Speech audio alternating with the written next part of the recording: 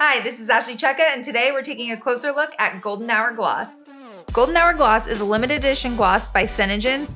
It is a sheer, dewy, rose tinted gloss with a subtle glow. It's going to be perfect to wear on its own or on top of your favorite LipSense colors. To see more details or to purchase Golden Hour Gloss, make sure to visit ashleycejka.com.